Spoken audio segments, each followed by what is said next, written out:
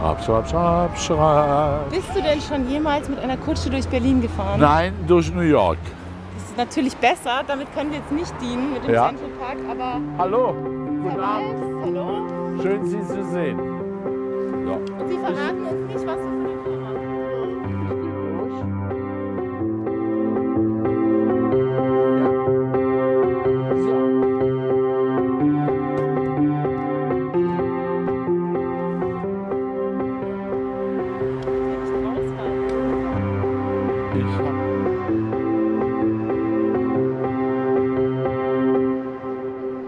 Es muss doch Malerwein sein.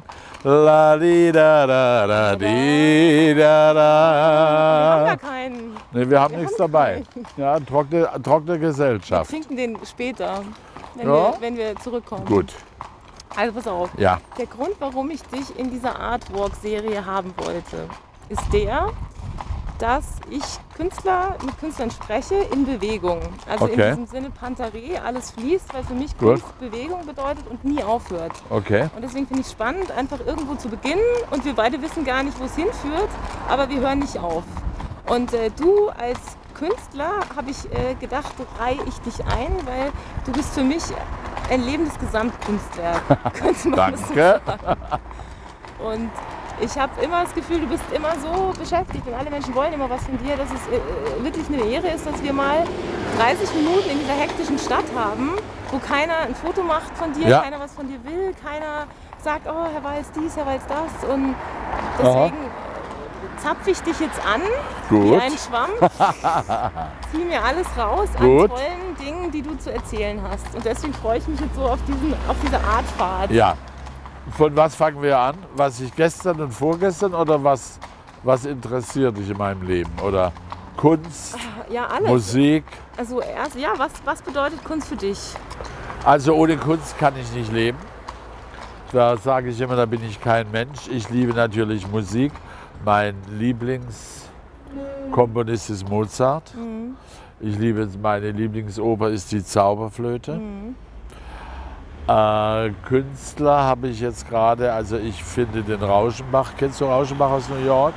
Finde ich sehr cool. Ich habe Andy Warhol die Haare, also was immer, aufgeschnitten. Äh, die Perücke. Hast du ihn Ja, kennengelernt? ja, klar kenne ich, kannte ich ihn. Auch Rauschenbach. Äh, ich kenne sehr viele gute Berliner Maler. Der Koberling ist ein fantastischer Maler. Salome. Also ich habe auch einen Salome, ich habe auch einen Koberling. Also ich sammle auch Kunst. Wobei ich Kunst kaufe, nicht nach dem Wert. Ich kaufe Kunst. Was dir dein Herz sagt. Ja. Ich liebe auch Störer. Der ist, kennst du Störer? Der ist sehr berühmt. Aber der malt, da braucht man eine gute Gabe, um zu wissen, was, welche Botschaft er uns geben will. Also ich habe gerne äh, Salome, der malt äh, Rosen im Winter, Seerosen. Also ich liebe Monet zum Beispiel, aber das, so reich bin ich nicht. Warst du schon mal in Giverny, in diesem berühmten Garten? Das, In, wo? In Frankreich? Oui, da war ich. weil da, da Ja. wollte ich immer mal hin und das ist der Original. Ich weiß. Giverny. Das muss so unglaublich Sehr sein. schön. Und ich war auch in Saint-Paul-de-Vence, kennst du das? Das Lokal. Da haben alle Künstler wie Picasso, Monet, alle statt bezahlt, haben die Bilder gegeben. Wie toll. Wie so ein Ja. Salon praktisch. Ja, ja. Toll. Und es ist ein tolles Essen. Da isst man Rüde, äh, Rüde Tee, äh, grüne Tee. Das ist auch Obst mit Dip und so. Und da ist ein sehr berühmtes Hotel, Colombe d'Or. Merkt ihr das? Colombe d'Or. Und Wir wenn- haben es ja auf Kamera. Und wenn du verliebt bist, ein Traumhotel. Äh, da habe ich Yves Montand noch kennengelernt und seine Frau Simon Signoret. Wie war denn Yves Montand? Der war sehr ruhig. Und was ich so spannend fand, wenn die gegessen haben, das saß zehn Meter weiter weg von ihr. Die haben mittags immer getrennt gegessen. Wir haben viele Fotos in Südfrankreich gemacht, deswegen waren wir in dem Colombe d'Or. Und das war sehr interessant. Und ich lief dann durch die Gänge und dachte immer, die Frau kennst du doch. Das war Simon Signoret. Und das war natürlich ganz toll. Aber von der Kunst her, das ist einmalig. Also die Sammlung ist ein Traum. nochmal Column d'Or und in dem. Garten. Ist auch schön. Weil das Interessante ist, dass, ähm, als du vorhin Warhol sagtest, der Mann, mit dem ich vor dir so saß, war in London, ähm, als ich jetzt gerade zu den Olympics da war, und das Okay. war Alistair Thane. Und Alistair Thane hat das letzte Bild von Warhol gemacht, bevor er gestorben ist. Ui. Und Alistair war auch der, der das Bild mit der Blume gemacht hat vor Aha. Boys Kopf, was ganz Ja, bekannt ist. ja. Und er hat ein bisschen von Warhol erzählt und jetzt musste ich so, äh, passt es so schön, weil Ja. sozusagen von dem einen, der ihn kannte, bin ich jetzt sozusagen bei dir, der, Ja. der ihn auch kannte. Und irgendwo zieht sich Warhol. Du weißt, dass der Rauschenbach und Warhol auch in Berlin waren. Mhm. Die haben, äh, wir haben im Campi gewohnt. Und wie hast Das du. ist lange her. Und, und wann hast du, ich wollte gerade sagen, wo hast du ihn kennengelernt? In New York, da gab es Fotos, jetzt weiß ich den Namen nicht mehr. Guck mal, ich bin ja auch schon ein bisschen älter. Der hieß Golds, Goldsmith, Gold. Goldsmith. Irg, irg, ja, ja, ein sehr guter Fotograf, hat ein wunderschönes Atelier. Und da war Warhol, dann war Mick Jagger und dann war die schöne Schauspielerin vom der Mai hat mir ein Bett im tiefen Meeresgrund gemacht. Wie hieß der, der mit Herzog den Film gedreht hat? Der böse. Schauspieler. Doch, Kinski. Natascha Ah. Kinski, ja. Ach, Natascha Ja. Kinski, wow, Auch kennengelernt. Die ist wunderbar. Die sieht immer noch aus wie ein Mädchen. Die hat ja eine so zerbrechliche und gleichzeitig äh, elfenhafte Schönheit. Das ist Ja. unfassbar. Ja. Ja, das ist ja auch sozusagen das, was dich, finde ich, ausmacht als Künstler. Du machst ja Menschen schöner. Oder Ich hoffe. Versuchst es. Ich hoffe, ich versuch's. Aber ich habe heute was Schönes gehört. Wenn Sie zufrieden sind, erzählen Sie allen. Wenn Sie nicht zufrieden sind, sagen Sie es nur mir. Das ist dein Erfolgsrezept. Ja. Das sollte ich mir mal merken. Ja, das finde ich sehr gut. Und jetzt mache ich im Geschäft, lasse ich mir einen Poster machen oder in allen Geschäften an der Kasse, wo dann drin steht, wenn Sie zufrieden sind. So eine gute Idee. Das ist psychologisch gut geschult. Wie hast du denn das geschafft, ein solches, das meinte ich ja mit, das Gesamtkunstwerk und Institution, also beides. Ja, du bist irgendwie nicht. Naja, Kunstwerk weiß ich nicht.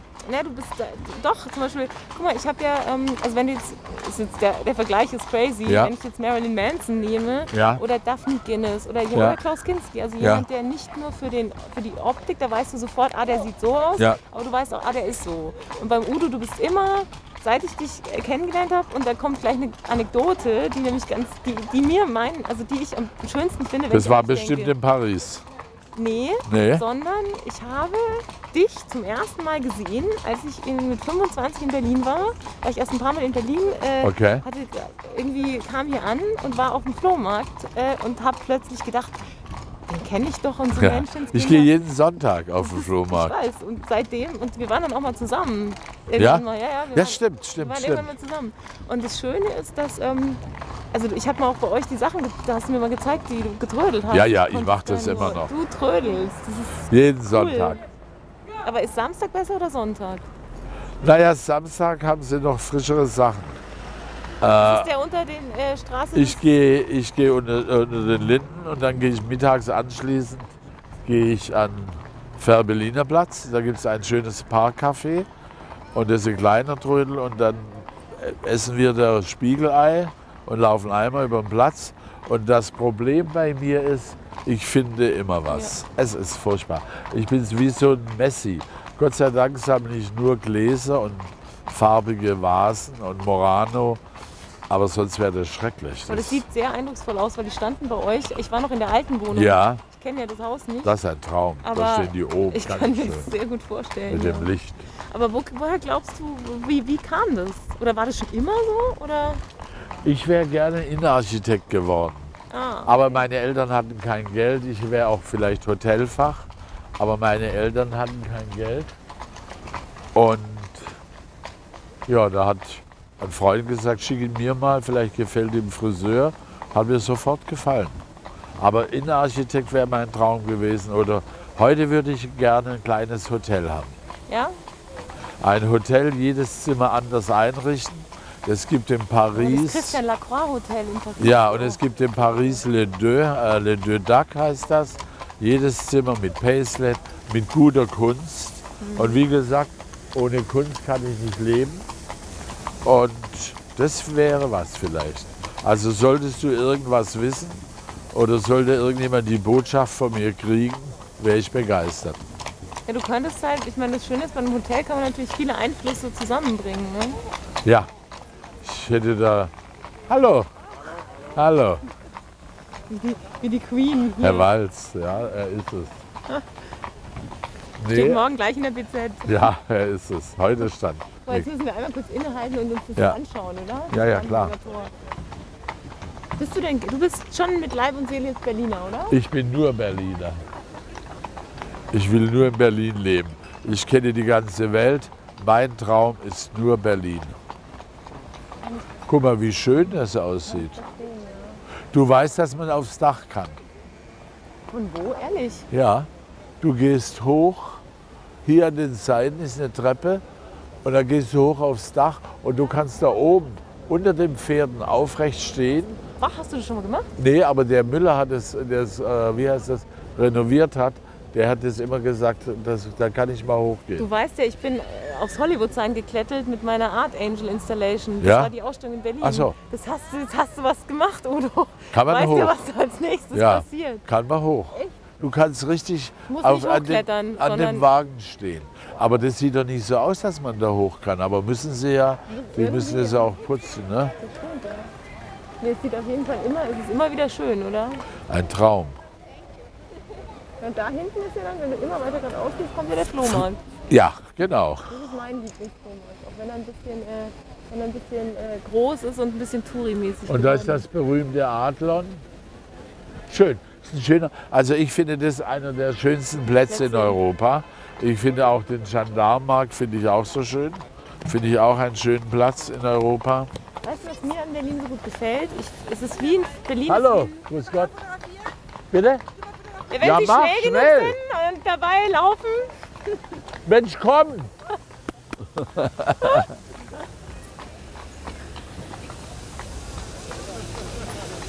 Danke. Gerne. Ich sag ja, du bist eine lebende Institution. Ja. Nein, und zwar Berlin ist ja wie ein Flohmarkt, weil es liegen alle Schätze auf der Straße. Also die guten Ja. wie die schlechten. Weißt du, es ist immer irgendwas zu finden. Ich denke ja immer, dass ich was Tolles finde. Also, äh, ich habe einen Freund, der hat, äh, wie heißt der, ein ganz berühmtes Lito gefunden von einem ganz berühmten Maler. Rote Zeichnung, eine Federzeichnung, hat er auf dem Sperrmüll sogar gefunden. Vor der Tür. echt, oder? Ja, Krass.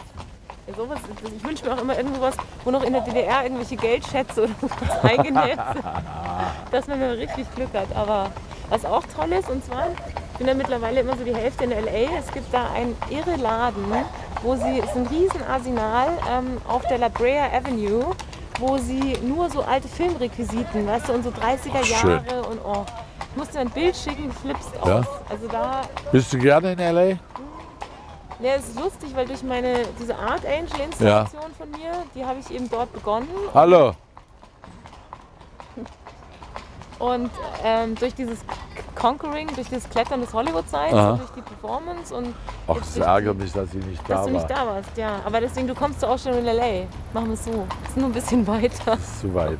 aber der nächsten in Berlin. Ja. Aber das wäre auch eine schöne Frage noch. Weil ich bin ja ausgebucht bis Ende des Jahres, habe ich jeden Tag minutiös. Das war eine Ehre jetzt, dass du. Nee, das ist keine Ehre. 20 Nee, das mache ich gerne. Aber äh, ich bin minutiös ausgebucht, aber ich bin unkompliziert. Wir haben gerade gesprochen. Ich bin einer der Menschen, der nie Stress hat. Ich kenne das Wort Stress nicht. Ich bin stressfrei, also ich kann nicht im Herzinfarkt vom Stress. Äh, ich bin immer, ich ruhe in mir selber. Und ich gebe jetzt dir ein Geheimnis, weil du noch ein junges, schönes Mädchen bist. Das Glück, ich bin ein glücklicher Mensch. Ich mache das nicht abhängig, ob ich einen Partner hätte oder habe. Ich bin mit mir glücklich.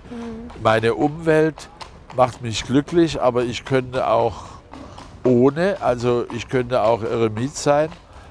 Aber glücklich ist man, also wichtig ist, dass du mit dir alleine glücklich bist. Nicht, dass du sagst, ich habe keinen Partner, das mal, ich bin traurig. Muss man nicht sein. Also ich finde, das Glück ist abhängig von dir selber. Schöner Satz. Ja. Also, dass das Glück sozusagen in einem Ja, selber liegt. Mhm. ja muss ist ganz wichtig. Würdest du denn, wie würdest du denn deinen deinen Ort der Geborgenheit definieren?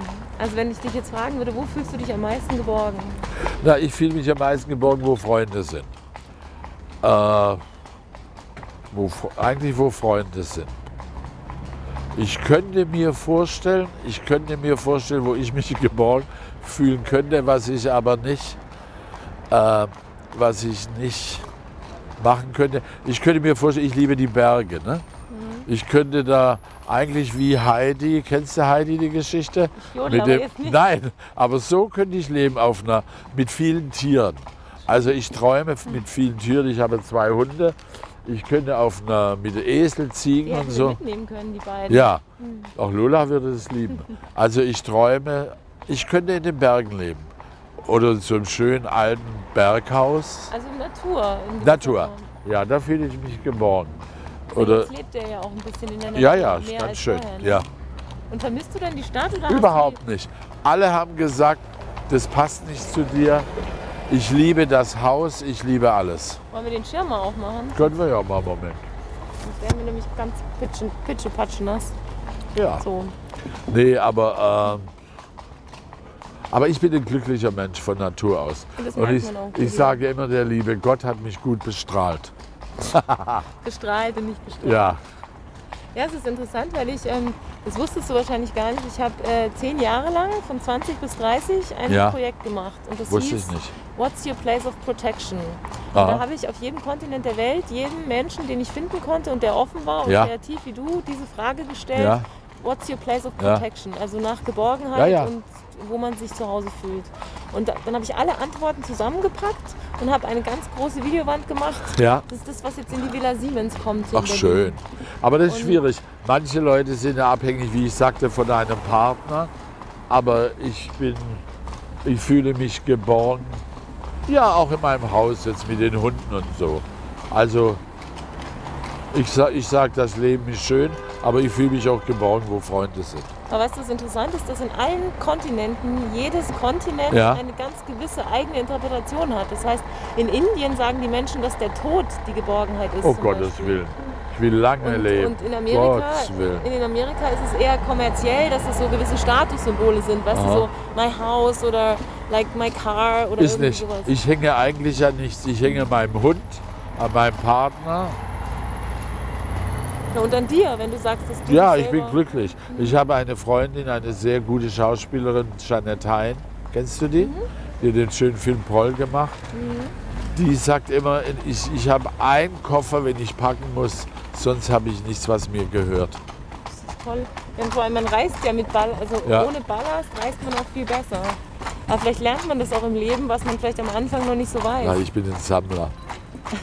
Ich will haben, Okay. haben, haben. Also Bei Ode wird es mit einem Koffer echt schwierig. Ja, Das ist echt. ich will haben, haben, haben. Nein, aber ich glaube, vielleicht ist es ja auch so ein Protection-Ding. Also du hast ja auch zum Beispiel dieses Glas sehr schön inszeniert bei dir. Ja, Ja, schön. Du hast ja auch wirklich Freude dran. Und ich glaube, was, was nicht, was, was schade wäre, ist, wenn du, wenn du kaufst und kaufst und kaufst und guckst es gar nicht mehr an. Ja. Das ist so wie mit Kindern, die zu viel Spielzeug Nee, bekommen. nee. Die wissen gar nicht mehr, Ich sitze in meinem Esszimmer und ich habe oben an Fenstern habe ich die äh, blau, rot, grüne Gläser. Das ist so toll. Schön. Und da kommt die Sonne rein, dann siehst du verschiedene Farben. Ach so, Das ist schon toll. Ja, Schön. das ist schon toll. Und was sind jetzt noch so die nächsten Projekte und, und Ziele und Träume und Also ich würde gerne, aber das haben mir alle Leute abgeraten, damals als in äh, Haiti das große äh, Beben war, hätte ich gerne ein Waisenhaus aufgemacht. Haben mir alle abgeraten, aber, aber ich habe zum Beispiel äh, fünf AIDS-kranke, äh, HIV-positive Kinder in Afrika und da arbeite ich jetzt dran, dass ich auch mal hinfahre. Dann habe ich äh, ein Tierheim, bin ich Schirmherr. Und dann bin ich für MPS, für die Krankheit Muskelschwund, bin ich der Schirmherr geworden. Das hatte Anja Kling. Also ich habe gut zu tun, aber wie gesagt, ich bin nie überlastet, ich bin nie überfordert. Ich mache immer so und sage, es ist, wie es ist. Und glaubst du, dass die, zum Beispiel, du machst jetzt wahnsinnig viel Schauspielerei. Ja. Glaubst du, dass auch die Arbeit dich so, weil du bist so kommunikativ und ja auch rhetorisch einfach Ja. äh, toll. Also man muss ja manchmal üben und machen und tun. Ja. Aber pff, bei dir, wir können jetzt die ganze Nacht hier fahren Ja, ich würde dich entertainen. Ja, genau. Am Schluss würde ich Ich muss- singen. Eigentlich muss ich gar nichts machen. Eben, geht alles von selbst. Am Schluss würde ich singen, oh baby, let me entertain you. genau. Im Regen in Berlin. Ja, wir können ja ein Singing in the Rain. Ja, Nee, aber ich hoffe, Schirm. ich hoffe, dass ich dir, vielleicht lernst du was, vielleicht habe ich dich was gelehrt. Aber du bist ja auch ein glücklicher Mensch. Außerdem siehst du gut aus, du bist intelligent. Wir haben in Paris, haben wir, wir waren einmal zusammen in Paris, das weißt du. War ein schönes Wochenende. War ein schönes Wochenende, ne? Incog aber inkognito waren wir doch eigentlich da. Nee, mich haben Leute da erkannt, weißt du das? Die haben nicht immer angerufen, ich weiß. Aber Nee, auch, auch wir waren abends, wo war denn das? Ich war mit Sabine Christiansen da und da haben die deutschen Touristen gesagt, was machen Sie denn hier, Weiß? Ich habe gesagt, na ja, warum soll ich denn nicht nach Paris? Stimmt, stimmt. Ja, jetzt weiß Ne? ich wieder. Ja, das war ein tolles Wochenende. Paris. Paris ist auch eine tolle Stadt. Das wäre meine zweite Stadt. Nach Berlin würde ich Paris. Ich habe mir schon überlegt, wenn ich mal in Rente gehe, aber ich bin ja erst 68, wenn ich mal in Rente gehe, würde ich mal drei, vier Monate in Paris leben. Schön. Und Rive Droit oder Rive Gauche? Oder egal. So, dass ich wie Sabine Christiansen den Eiffelturm sehe. Der ist ja immer beleuchtet. Hast du es mal gesehen? der macht so Tinkerbell, der flinkt, ja. Ja. Ja, Das wäre auch toll, nochmal eine Ne? Performance mit dem Eiffelturm zu machen. Ja. Da überlege ich auch die ganze Zeit. finde ich ganz toll. Aber- Leider spreche ich nicht Französisch und ich finde, manche Franzosen sind ja sehr chauvinistisch.